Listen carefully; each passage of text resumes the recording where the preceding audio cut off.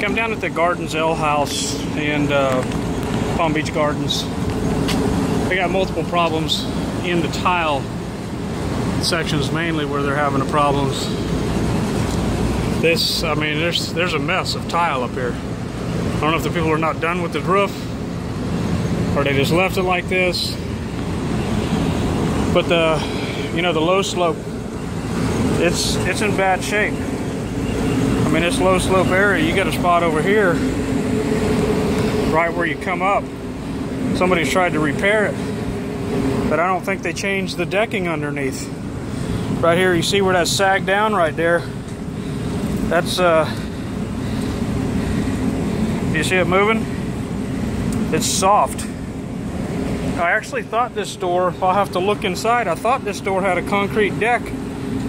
I don't know what would have happened there unless it's uh, insulation on top. And the insulation is just uh, broke down. There's a lot of uh, a lot of policing, I guess we would say, needs to happen on this. You know, all the wall flashings are loose. You see this? You know, the wall flashing shouldn't be filled up with air blowing from the ACs and stuff, causing it to, to bellow out. And it's, you know, all the way down like that. You can see it pulled in and out. The flashing they used, it's not even galvalume. This, whoever did this, this is just actual galvanized metal. So, uh, I mean, I don't want to talk anybody's work down and get in the middle of uh, an argument about stuff. There's just just some major problems with the tile portion. I'm gonna go up this kind of rickety ladder here.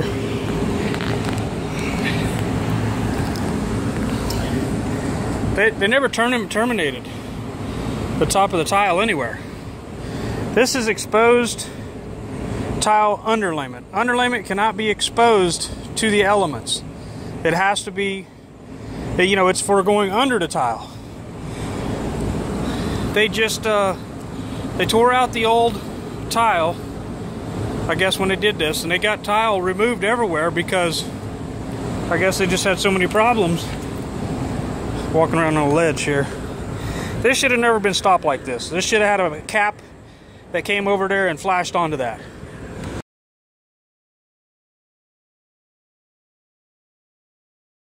It never should have been like that.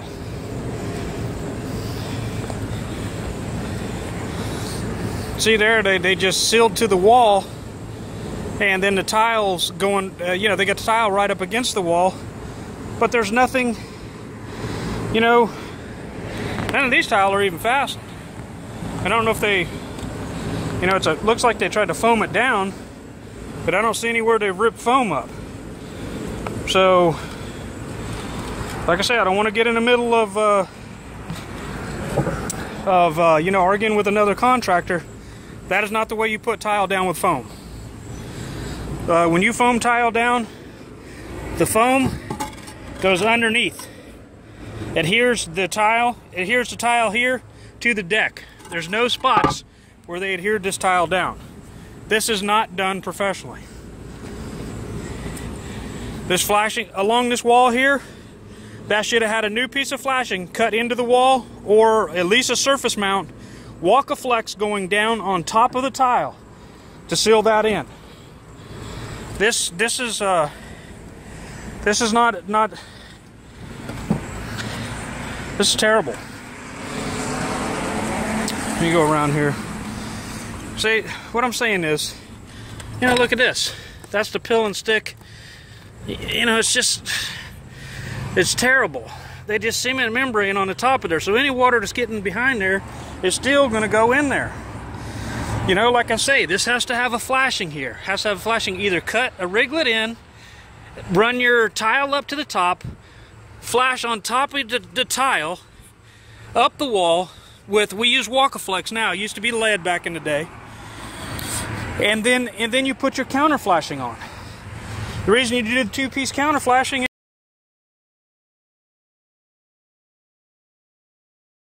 is so if you have problems or if you ever have to do anything, you can take it apart and do it.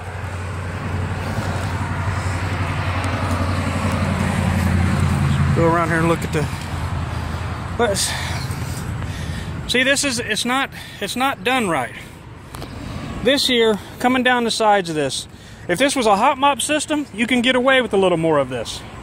This is not a hot mop. This is just a peel and stick underlayment that cannot be exposed for more than probably 60 days to the elements. Okay, down this wall here, this wall should have had a, uh, uh, 6 by 5 by 1 flashing put in there. Comes down here, you take a piece of Wakaflex, you don't, you don't mud that shut. That water gets in that track, comes down here, runs on top of this tile, and goes out. another at the top here. Concrete absorbs water. Okay, so what you've done is you've came up here, mudded this shut, did, did absolutely nothing. This needs this needs a piece of flashing. If nothing else, a piece of Wakaflex. Should have had one more piece of tile there cut. Cut from here, you know, cut from here up to this, and then had of a cap on here with Wakaflex molded into each one of the the pans of the tile. This this this this this uh this can't be exposed. That you know it's it's all it is you know it's a polystick, Polyglass product that's only good to the elements for maximum 90 days. Okay, so they've put something out into the UV rays that will not stay. That's never been that's never been counterflashed. You know, you got it looks like they use torch down product. You know, torch some modified in there. Which, you know, you're damming water up there. What you would do is have your flashing going down the sides there. Have that open so the water can get the heck out. You don't want to keep this uh yeah, this is uh, this is something. Same thing here. You know, they mudded down the side of it. And then what they've did is come back because it's leaking, which of course, look at this here. That's where they cut the tile. Tile, instead of recutting it to where it's up underneath the way it should be, they just try to pack some mud in there. This cap right here, incredible. It's incredible. I don't think they have ridge boards on here. See how the tile's going up and down up there? Reason it does that is you have to have a board in the center here that supports the, the tile up. It has to be fastened down, mechanically fastened, and then the tile fastens to the board, keeps it a nice, true, uh, a, a, true rake up there. So, yeah. Then again, I'm not going to get in the middle of, you know, who you hired to do this. I, you know, quite, quite, quite sure you would definitely got a lot better job.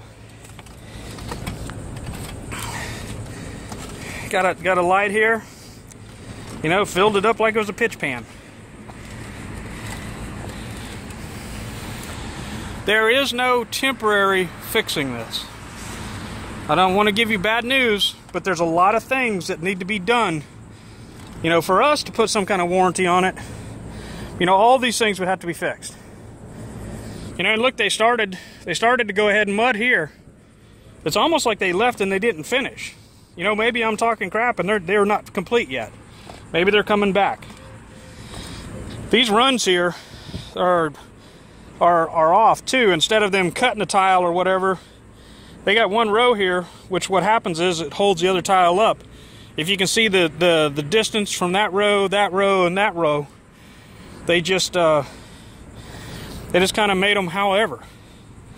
Instead of you know breaking it out to where it's even rows the dimensions of the layout of the tile has to be the same because the tile fits together in a certain fashion. I mean broken tile pitch pan light about falling down. I don't think that thing's bracketed in there very well. Got broken tile everywhere. They just got uh, mud. You know, they got mud all in this uh, That's that's just exposed plastic roof cement. Plastic roof cement to the elements does not last. Okay, plastic roof cement works great for underneath something. It's basically your binder. It's you know it, it doesn't the membrane. There's no valley metal. There's no valley metal in it. There's no way that this got passed permitting wise. Especially in Palm Beach. There's no way.